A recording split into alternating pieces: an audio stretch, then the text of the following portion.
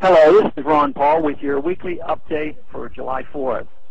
The press reports are horrifying. 95-year-old women humiliated, children molested, disabled people abused, men and women subjected to unwarranted groping and touching of their most private areas, and involuntary radiation exposure. If the perpetrators were a gang of criminals, their headquarters would be raided by SWAT teams and armed federal agents. Unfortunately, in this case, the perpetrators are armed federal agents. This is the sorry situation 10 years after the creation of the Transportation Security Agency. The requirement that Americans be forced to undergo this appalling treatment simply for the privilege of traveling in their own country reveals much about how the federal government feels about our liberties. The unfortunate fact that we put up with this does not speak well for our willingness to stand up to an abusive government. Many Americans continue to fool themselves into accepting TSA abuse by saying, I don't mind giving up my freedoms for security. In fact, though, they are giving up their liberties and not receiving security in return.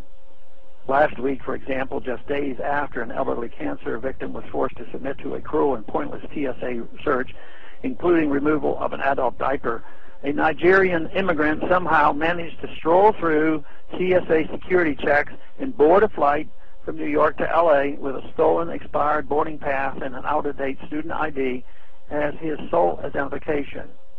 He was detained and questioned only to be released to do it again five days later. We should not be surprised to find this government ineptitude and indifference at the TSA. At the time the TSA was being created, I strongly opposed federalization of airline security. As I wrote in an article back in 2001, quote, Congress should be privatizing rather than nationalizing airport security.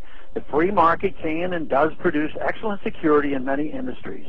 Many security-intensive industries do an outstanding job of maintaining safety without depending on federal agencies. Nuclear power plants, chemical plants, oil refineries, and armored money transport companies all employ private security forces that operate very effectively. No government agency will ever care about the bottom line security and profitability of the airlines more than the airlines themselves. Airlines cannot make money if travelers and flight crews are afraid to fly, and in a free market they would drastically change security measures to prevent future tragedies.